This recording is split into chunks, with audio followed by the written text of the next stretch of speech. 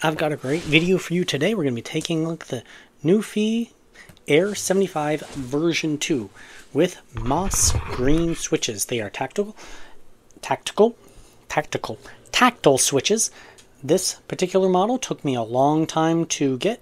Basically, I've been looking at it for about two months, and it had been on and off sales, meaning like actually available in that time, and I finally just acquired it to uh, see if I like using it or not. And what's on the back? Uh, some basic information. All right.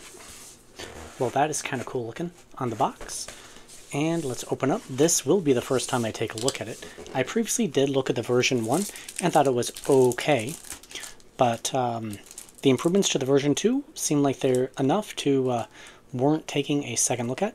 So you got some sticker art. It's very anime-esque. I think it looks pretty cool. Um, I don't know if they're into that waifu phase or whatever. Uh, I do like anime. Haven't watched in a long time since I had a kiddo. But, uh, you know, I still like the artwork, so it's cool. Uh, what else do we have in here? Basic specs. Alright, let's keep this moving.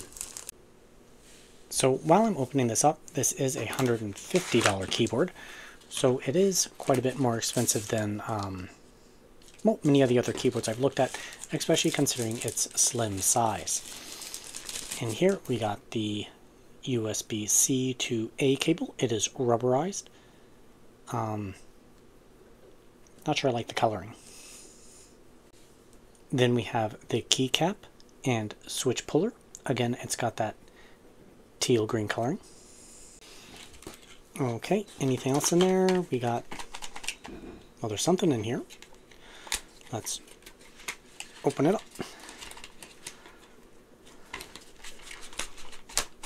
Open. Ah. The receiver and some extra keycaps of the different types that they sell. So just finest to detail this will clip on to the cable so that it won't get lost, which is, well, it doesn't clip on that well actually, but that's a nice little cute detail. Okay, and in the last one, you got alternatives for keycaps, which, let's actually open up the keyboard so that that'll make a little bit more sense. It just comes in that little plastic sleeve with a plastic cover over top of it to protect it. And there it is. So you can change out the enter key to the green. So personal preference, right? The teal is fine, but I, I like the orange and the yellow, I guess. But the teal, not as much so. But that is their brand coloring. So, you know, you you accept certain things. And, you know, it's got an escape key. I could go ahead and switch that out. And uh, let's do a Keyboard Explorer. So on the back, we got our USB-C port for plugging it in wired. Over here, you got off, wired, and wireless modes. And you got Mac and Windows. Let's go ahead and switch that to Windows so I don't forget. On the bottom right here, you can peel it off and expose your nice little metal slab on the Oh, that's translucent. Sorry, I went really ADD for a second. The, that is pretty cool. Now, you're just looking at the bottom end of the PCB, and it's not really that exciting, but it's kind of cool that it's translucent. Uh, the feet, the rubber on that is fine. Flip that up. That's fine. It's not great. Uh, I've been using the Keychron K3 version 2 for a little while, and that one's rubber feet seem a little bit better, but I would be using this at the flat, flattest mode. So, you know, that's fine. Let's move that out of the way. And there's the keyboard itself. And, oh, that sounds nice. We're going to have to do that in the typing test to really get a look at it. But it's a 65%. And, you know, I changed my mind. Here's the Keychron K3. It's the other keyboard I've been using. So, there they are, right next to each other the NuPhy. NuPhy, sorry, I'm going to mispronounce it.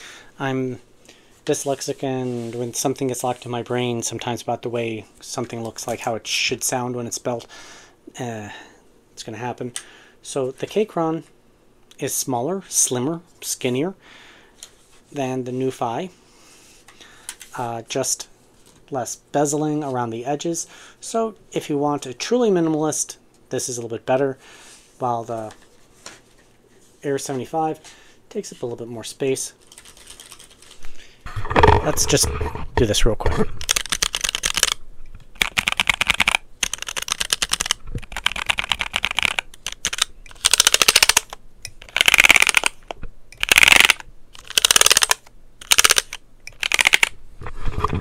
Yeah, the Air 75 sounds so much better. Um, keycaps are different style. Uh, really, not much wobble, so that's fine. Uh, a little bit more in the Keychron. I'm not really going to try to do this as a comparison one, but since I have it, I want to just kind of show it off for half a minute. Wow, I, I was actually looking at this going, so what's the big deal? Why is this one $150 and this one is 83 And I might be convinced. I might be convinced. Uh, sound plays an important role when typing. Uh, so that is a definite reason. So the keycaps are double shot PBT, however, they are not shine through. That is where the Keychron actually has an advantage. And then we can pull off a keycap.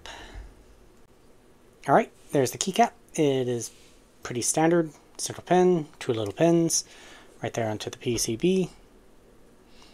And it's got north-facing RGB lighting. And uh, I guess that's it.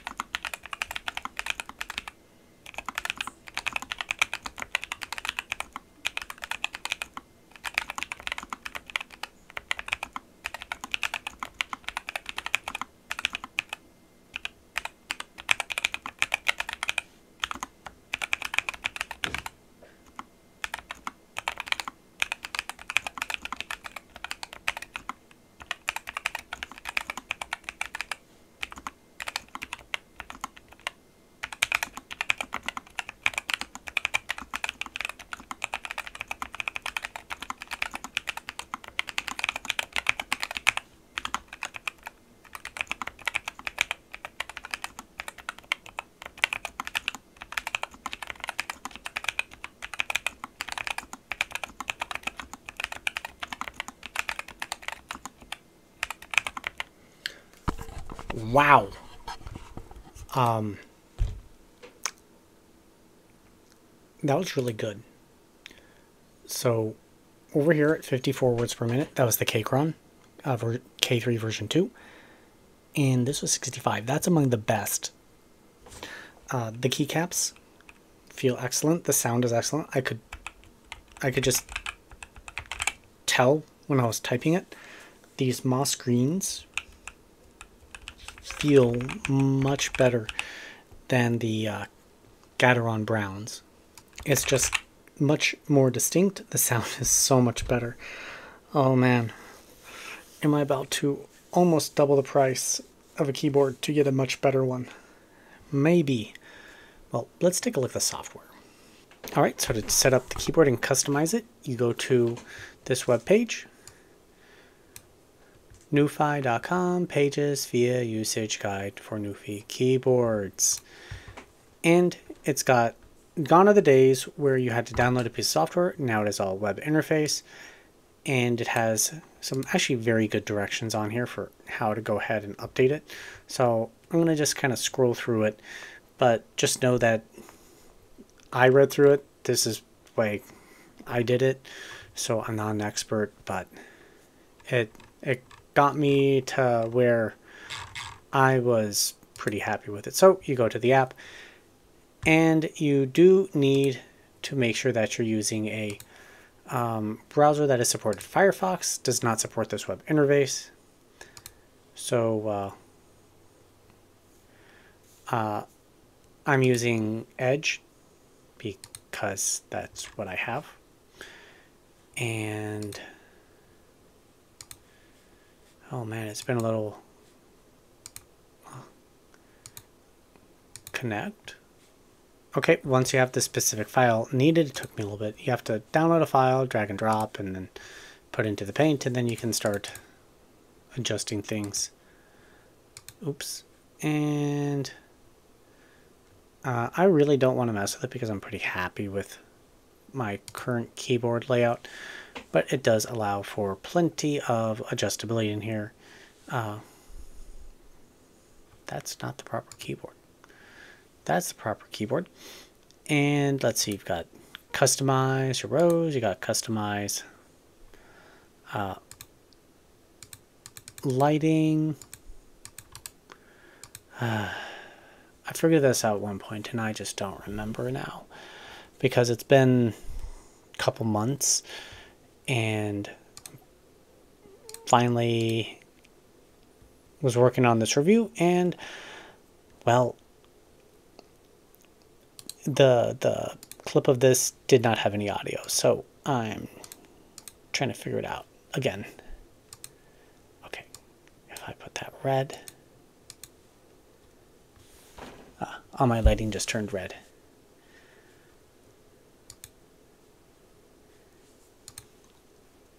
Ooh, doo, doo, doo, doo. Click. I can't click on it there. Oh, well, I can't figure it out for the life of me.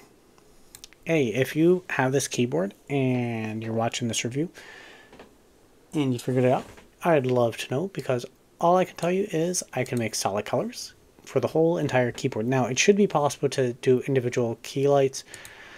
Uh, for the life of me, I just uh, cannot get it to do what I want it to do. Uh, but anyways, it has all the functionality for your macros, your matrices, and anything else that you want to do, all right in this software. It's for you to figure out.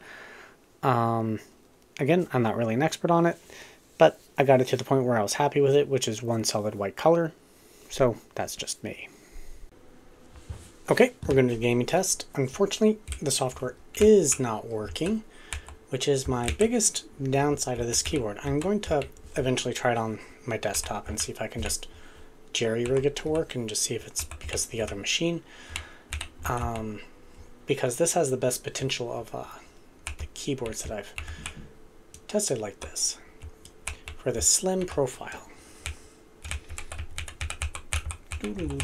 So it does have a lot more sound than like the Keychron, which is uh, one of the other slim keyboards I'm kind of comparing this to right now. But uh, overall, it was just so much of a better typing experience that I'd call that kind of worth it. Of course, it doesn't help with my aim. This game is Black Mesa. It is the reboot of Half-Life. Run through. Don't remember where I'm going.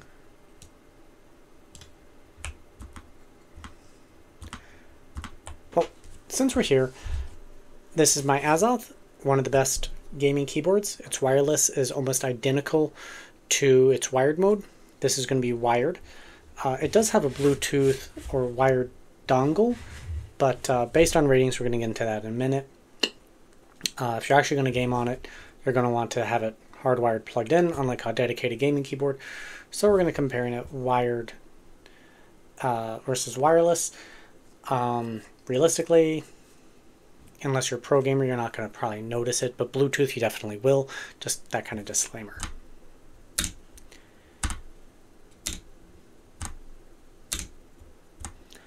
Yeah, I, I don't notice any lag. It, it just, it wouldn't bother me. There's there's nothing, whoops, for me to complain about. Run! I'm kidding. Okay, we'll do a little bit more combat while I finish up talking about it. Uh, you know, overall, I like this better. I just need the software to work. And if I can't get it to work, this will be just a no-go for me because I I don't like rainbow lights. I just wanted to have a clean, constant light I can put up with the non-shy-through keycaps. Alright, let's move on to um, how it's scored. Okay, and now for professional reviews. This is Rtings. They are, I find them fairly reliable, so that's why I'm kind of advocating for them. They do give you a certain number for reviews, and this is the review of the keyboard.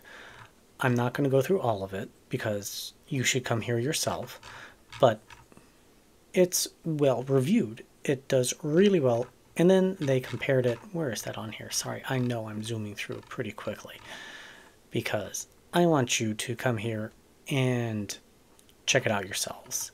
Ah, the Keychron K3. Now, I looked at the version 2. They're about the same size, but the Air 75 is superior, especially when plugged in. Otherwise, they're pretty similar overall, and they even compared it against the original Air 75. You know, uh, just quickly scrolling through, scrolling through. They've got typing tests, the qu- typing quality. Now, I found the typing top quality not the best, but very easy to type on. Um, I like the Azoth better, this was super easy to type on. It sounded good, and I could type quickly. So win, win, win. Um, they're not using the switches I used. It's fine. They got the latency testing. They got keyboard testing. You know, they got it all. So overall, I think this is the better keyboard. Probably either one would work for my use case. But if I'm going to type anything at all, this is the winner for me. Anyways, with that, I think I'm going to wrap up this video. I do thank you all very much for joining me on uh, checking out the Air 75 version 2. If you like my content, please hit that like button. If you got suggestions for me, um, both on ways to improve videos or things to that you might be interested in me taking a look at, please leave that in the comment sections down below. If um, you like what I'm doing and would like to see this channel grow, please think about joining me as a Patreon member or a YouTube member. But either way, I do have a Discord page if you want to talk about whatever. Mostly I'm into fan testing, so uh, that would be the main topic that uh, I know the best. Also cases. I'm pretty into computer cases. Anyways, I'll see you next time here on Computer Tech and More.